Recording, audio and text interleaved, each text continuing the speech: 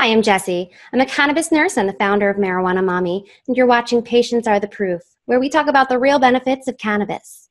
Today I'm chatting with Jeremy Jacobs. Jeremy proudly serves as the chairman of Enlighten, where he manages a team with a collective 20 years of experience serving Fortune 500 companies, first class retailers, and top end brands all over the world. He brings cutting edge retail technology to the cannabis industry. With an education forward approach, Jeremy and the Enlightened team help their partners grow their brand and build their relationships with their customers through a variety of solutions. Its technology solutions are intended to increase revenue and awareness and keep customers engaged. Jeremy is an avid music lover, cannabis enthusiast, marketer, technologist, entrepreneur, investor, native Kentuckian, and former executive director of Kentucky NORML. Hello, Jeremy. Hi, good morning, Jesse. How are you? I'm doing great. How are you? Excellent. Glad to see you this morning. Uh, I'm so happy to have you come on. So thank you so much for your time.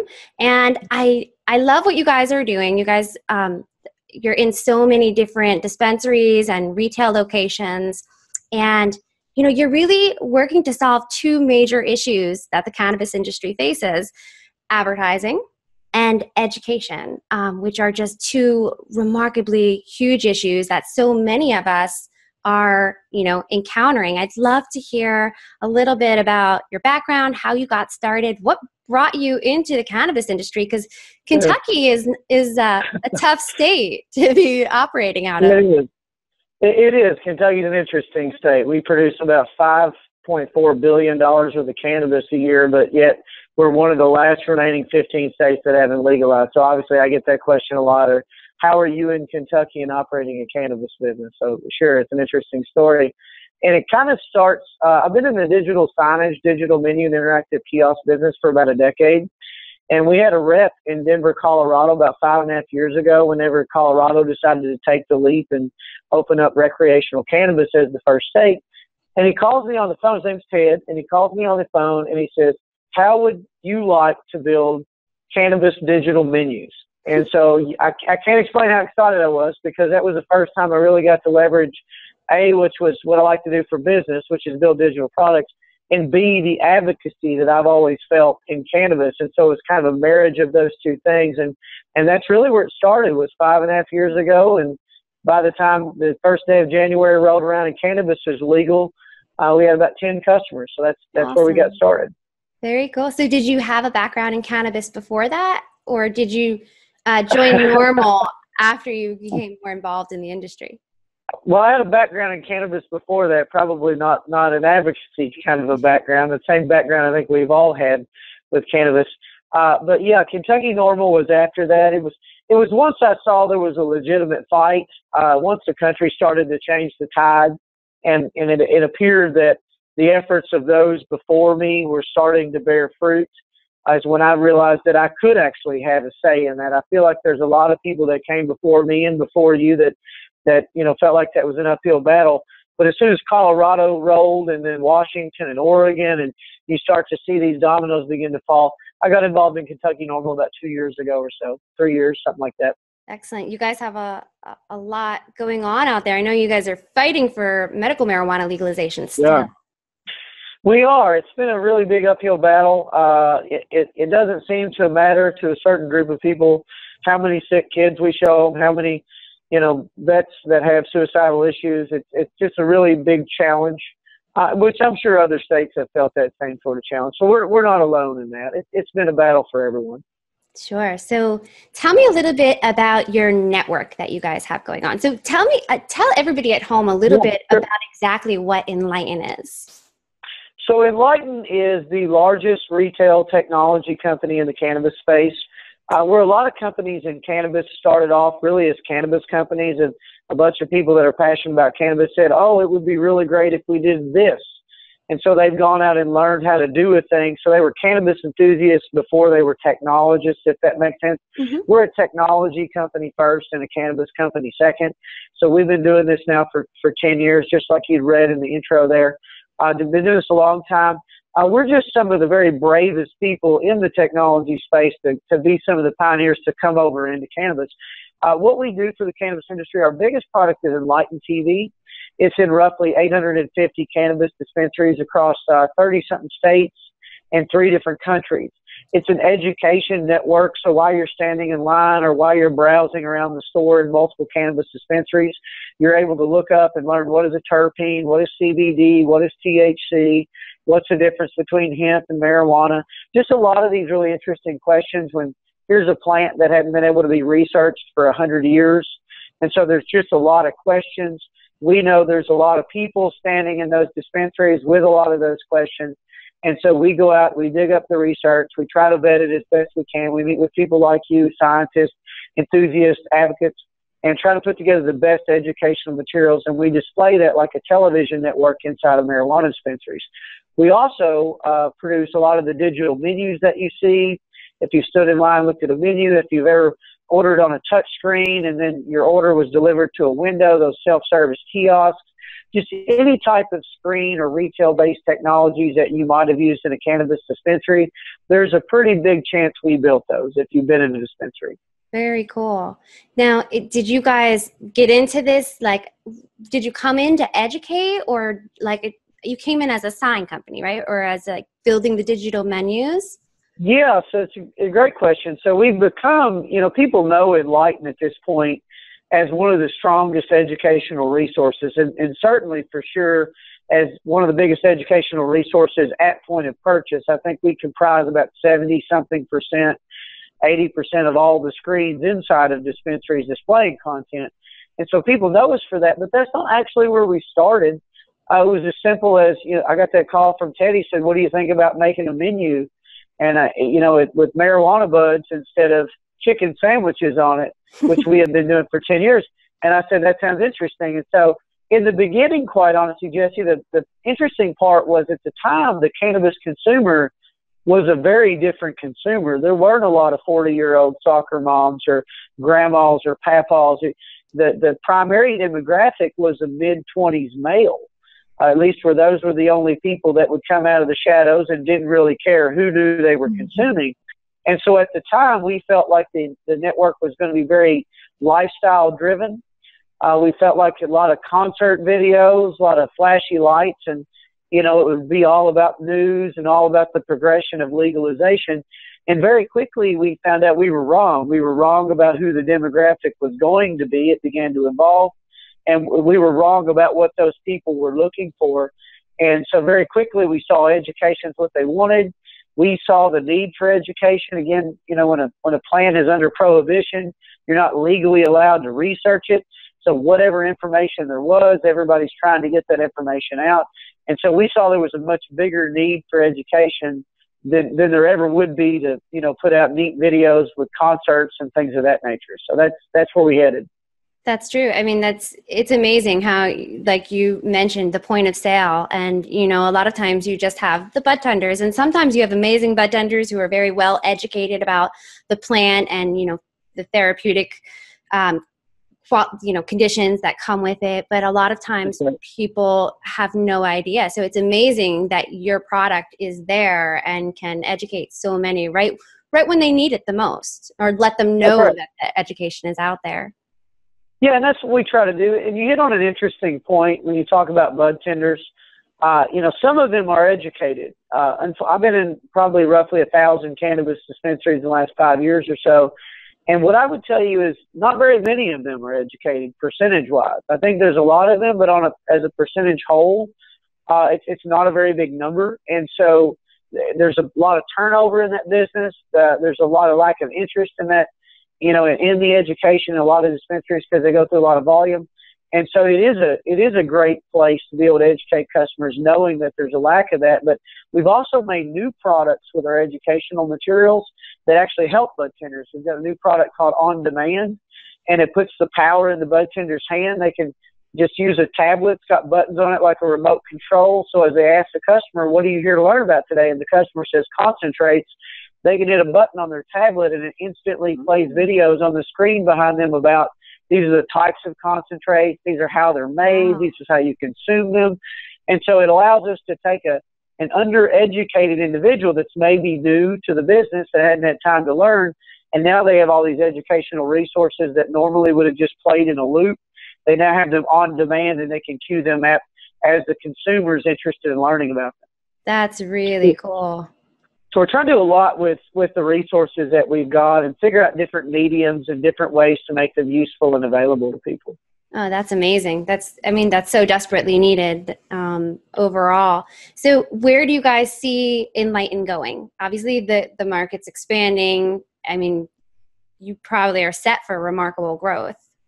Yeah. So we right now we're we're doing a lot of international expansion right now. Uh, we we pretty much dominated the United States.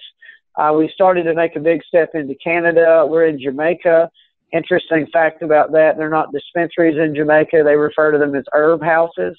so cool. I found that interesting. it's, very, it's, it's neat. It is neat to see the different cultures and the and the different vernacular that's used.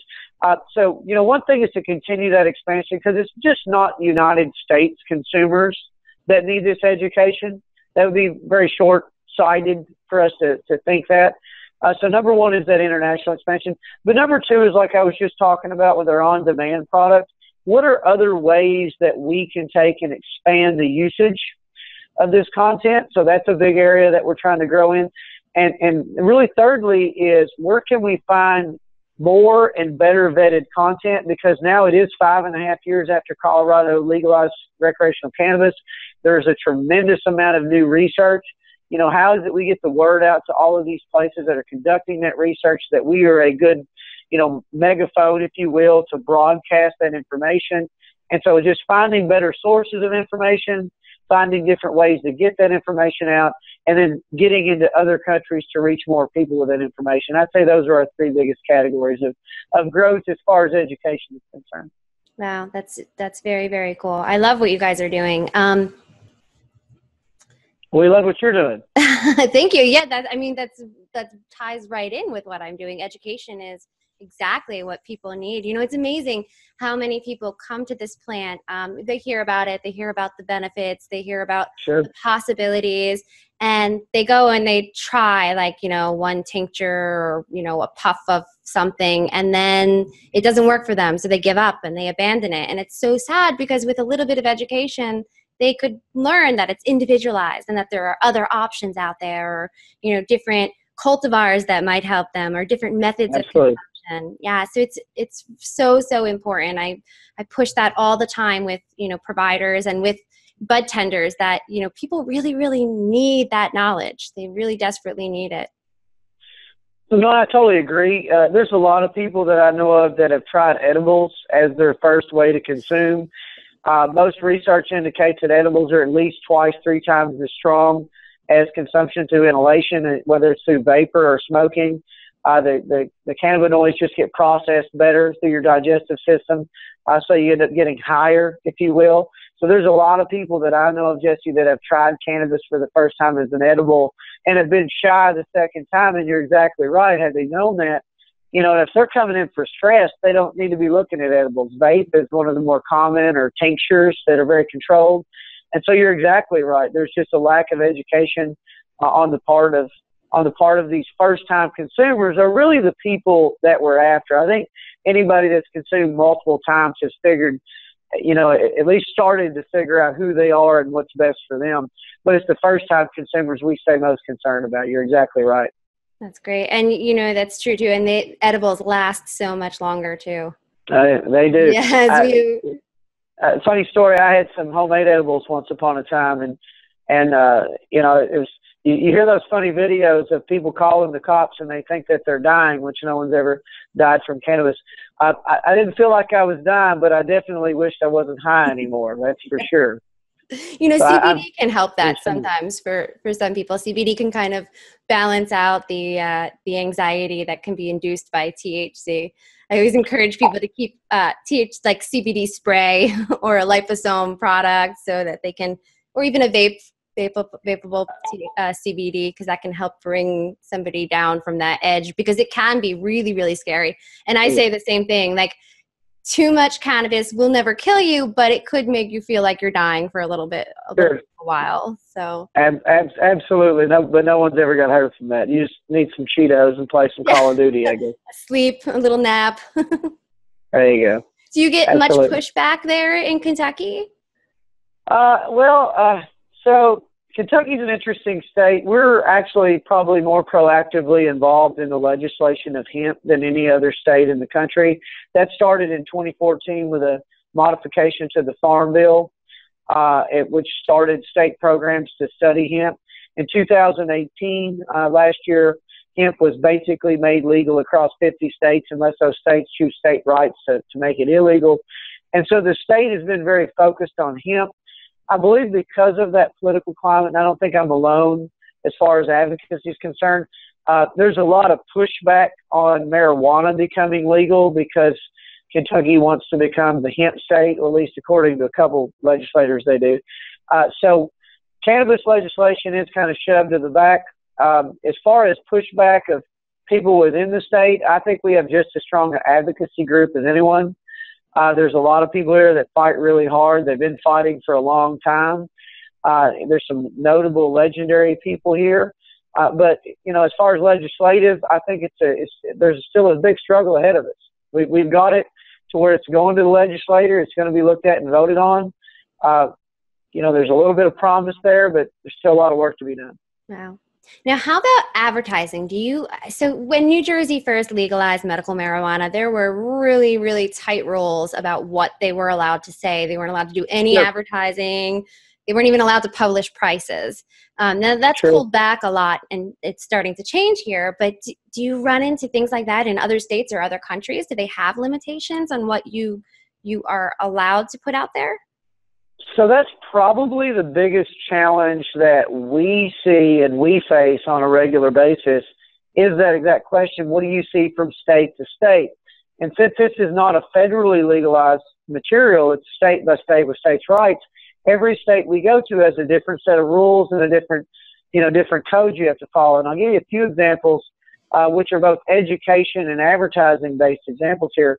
Uh, in Ohio, for example, you cannot display in any advertising at all whatsoever, even if it's in the dispensary, a picture of the product. For what reason, I have no idea why that is. It's kind of hard to advertise a product that you can't show.